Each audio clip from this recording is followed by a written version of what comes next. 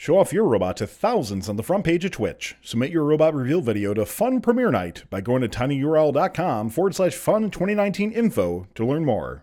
Well, our next topic um, is one that we can both make you laugh, shake your head, and everything in between. We're going to dive right into the official FRC Q&A forums to find some of the funniest, questionable, or most intriguing posts of the season. So if you've had any that you find really intriguing, tag First Aid Updates now in chat. We'll talk about it later on. So Libby, why don't you talk about what you have had in mind? I have a, I have more than one that I have in mind. I actually have sort of like a, a mini rant that tells a story through many Q and A's. So join me for this parable. Um, there's my thing about the Q and A is that there are some things, whether it's how the manual is written or how teams have come to understand things over time, that are so ambiguous that if they don't read the manual really, really carefully, which is a, a, a practice that teams have to get into. Um, every year, there are teams who just ask, you know, very kind of silly questions and it's because they haven't yet learned how to break the manual down and what rules are important. Um, so let this be a tiny, tiny PSA uh, for please, please, please, please read the manual before you write a Q&A question because it wastes everyone's time, both reading and answering, I'm sure, for first staff uh, to have to answer silly questions.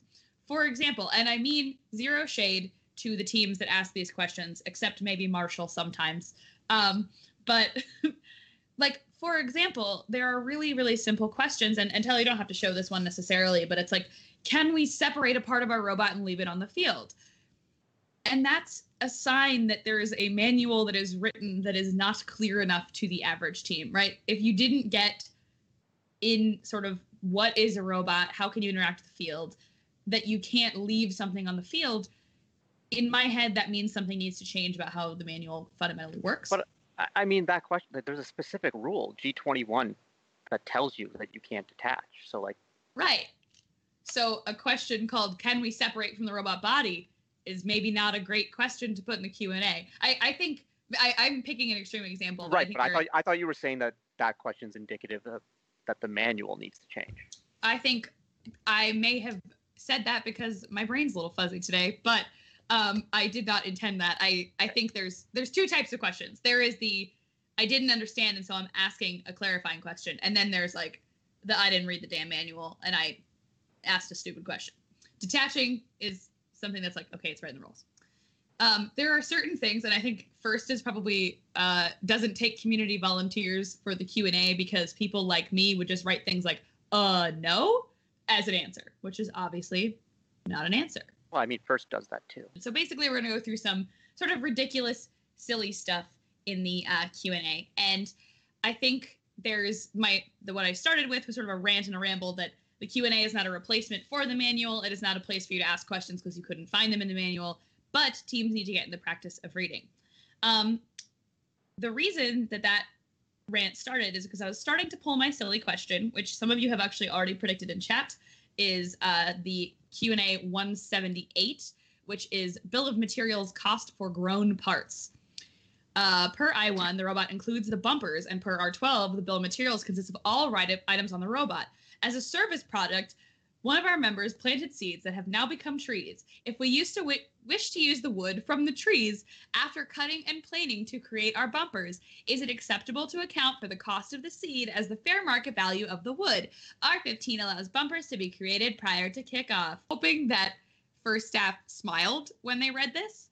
Um, but also, I kind of personally wish they hadn't like I know that they they need to answer it, but I wish that they hadn't answered it the way that they did because they answered with a um like you'll need to consider raw material and labor, blah, blah, blah. In this specific instance, labor was done by team members and Mother Nature. A clever team will consider to her to be a team member, sidestepping the issue of valuing her work, which a reasonably astute observer, props to whoever wrote this question for putting that in specifically for 900, would correctly identify as priceless, making your robot worthy of adoration but unworthy of passing inspection. Blah, blah, blah, blah, blah. Um, I, I think what is frustrating about that is that it incentivized this idea that you can meme the Q&A.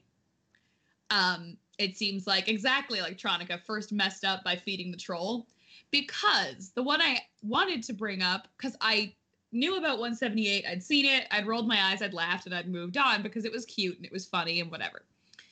However, this week there is a follow-up question. Q&A 227 by a diff oh no same team i was going to say by a different team but it's same team as a follow up to 178, where we were instructed to possibly include Mother Nature as a source of materials, could you please provide additional guidance on how to correctly attribute materials conjured by wizards, such as Gandalf the Grey, as he seems to be present in the Bill of Materials template link per the blue box? Additionally, how do we correctly account for the labor cost of low effort memes? Um, this is a high effort meme, and I on the one hand, as someone who appreciates memes very thoroughly, um, love it. And then at the same time, like I the I think first like opened a door to memeing on questions that now they're only going to get memes as questions or they're going to get a lot of memes as questions. Um, it made me laugh though. It made me shake my head, but at GDC, um, maybe stop because then people are just going to ask silly questions. And as a team that like religiously looks at the q&a to make sure that we know all of the changes and nuances also we asked a pretty meme question but that's fine. Uh, if you can find it i'll give you a cookie. Um, the I, I don't like that it's sort of like filling the q&a with random garbage and we should probably be focusing on actual questions that need answering karthik your thoughts i mean i don't really know what to say about Gandalf the Grey or Mother Nature or people planting seeds, but uh, you know, uh, it's what what yeah, can any I, of us say? I mean, I I used to run the Q and A for uh, Vex Robotics competition for like eight years, and it was kind of like a miserable experience answering all those questions. So sometimes it was nice when you got a fun question; it kind of made you smile, kind of made you laugh. But there are other questions that were just like mean and stupid. So it, it would get tiresome, but at the same time, I always thought like, hey, at the end of the day, these are paying customers, so you got to try and answer their questions. Like I, we got a question once because in Vex you're not allowed to stand on step stools during a match, so someone asked if they could tape box boxes to their shoes, and I was like, yeah, it made me laugh. So I may or may not be whatever. considering the um, the height of heel that would be legal as a shoe as a. I, I, I don't think there's a limit, you know, but maybe you should ask on the Q and A. Hey, perfect. But um, I will. So I, I have a favorite Q and A question, and it's like one where I don't know if this was the intent of the question, but it's Q and A 165, and uh, Tyler's putting it up on screen right now. And so it's a very simple question. If a robot outside either the HAB zone tips over unintentional or intentionally, does this violate G23? Example one from R25 makes me believe this would not be a violation of G23. At first, this seems like a simple question, an innocent question, because like you don't want a robot that tips over to get a penalty for being tipped over and then being outside the 30 uh, inch extension. That doesn't seem fair. So the answer, no, a simple change in orientation of robot does not violate G23, as the first example the blue box demonstrates. So they're basically saying your extension limit is always based on the orientation of your bumpers as they're normally configured at the start of the match. But like that opens up this huge door for the most ridiculous strategy where you could build a robot with a 27 foot tall elevator and have your robot tip over intentionally, and then you have a wall bot. And like a lot of you are like, "Yo, what's a wall bot?" But let me tell you, wall bots used to be the game breaker in the Vex Robotics competition until they were unfortunately made illegal and restricted. And like I was on the game design committee for that, and I did not want wall bots to become illegal. Like, look at this stuff. These massive exploding robots that would try and shut down the game. And it was so cool. But if you look at this year's game, if you can make this massive 27 foot wide robot, you can block off access to the entire hab zone and all the loaders and almost all the game pieces. And it's been so while since we've had a good chokehold. And I know right now you're saying, yeah, okay, well, that's impossible. But that's what everyone said about 469 and 2010 with the infinite cycles. And so, could someone do this? Probably not but I would love to see someone build this because it would just be like I'm, you know, I, I, love, yeah, I, I love going to events. I love watching robots and it's fun. But like you do kind of get tired of seeing the same cookie cutter types of robots that you've already seen because you've watched an RI3D or whatever. Like I, I love seeing different and super creative robots. That's why 469 in 2010 is one of my favorite of all time. That's why Beatty in 2002 when they grabbed the three goals is one of my favorites. So I would love to see someone build something like this. And then you're probably going to be like, well, penalties would be an issue because you can't contact a robot that's bumpers are fully within the hab zone. But like, yeah, I know it's not realistic, but it's just like it's fun to think about, and maybe someone out there can pull this off and find a way to anchor to the field without actually anchoring to the field, and cut off the field with this 27 foot robot. And you know, a lot of people are like, "Oh, well, it's against the spirit of the rules." I'm like, yeah, probably, but like if I really wanted to do this, I would just ask and be like, "Hey, is this legal?" And if they said no, then move on. But otherwise, like this would be something to go for. I don't know. I just like this looking at these wall bots and like again seeing these various ones at Vex Worlds and like there was one wall bot that year that like set off two walls and then it had like a mini robot that drove out from underneath that was tethered and I just like seeing cool robots and this question really excited me because it opened the door for something cool that I know is probably not going to happen. But I just wanted to talk about it.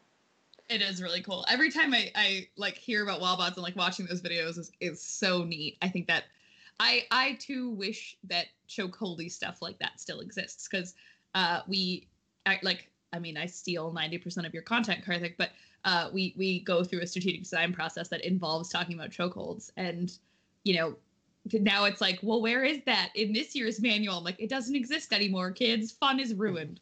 Um, but we have a couple of um, quick questions slash favorite Q and A's from chat uh, Electronica asking, "Can a team get banned from the Q and A for spam?"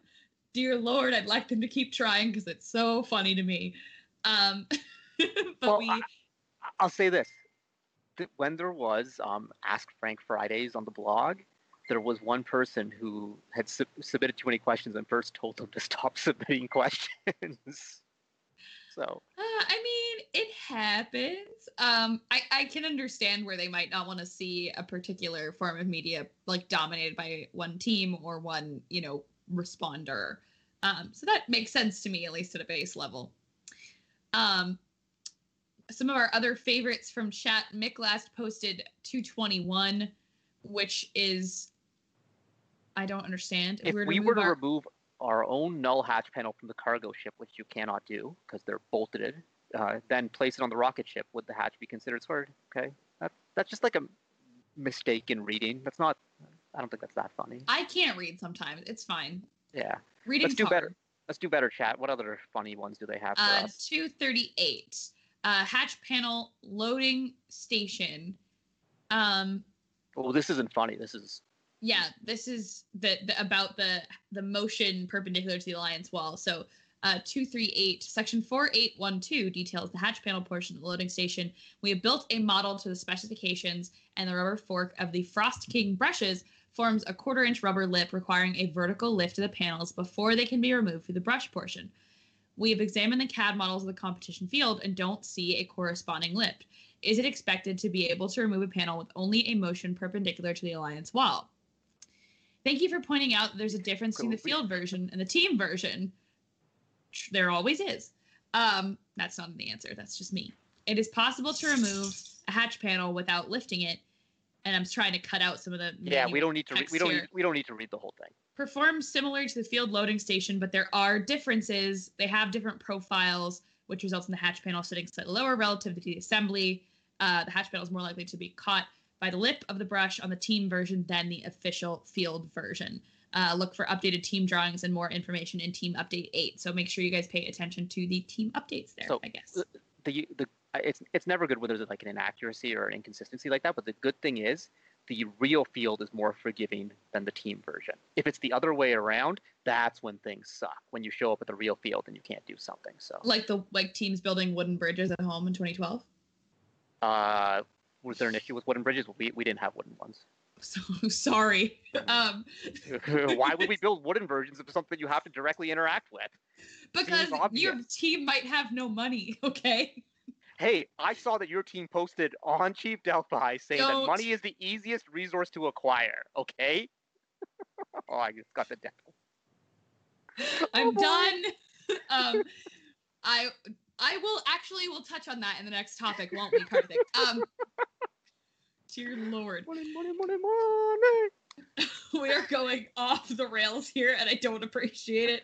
Um, but to your point, I I I think that's really important to point out, right? Is that the the team versions should be like if if the real field is going to behave one way and the team field should behave a different way. Like at least this is a better way for it to uh to be handled than the other way around. So, um, the other uh, comment or question from chat is Miklas posting, My issue with people dismissing the tree bill of materials question is that it was a thing that someone else was asking about before the Q&A was posted. And he posted a link of a picture from Discord, I assume the FRC Discord, uh, where someone is basically saying, what if we go outside and get lumber from outside to make our bumpers?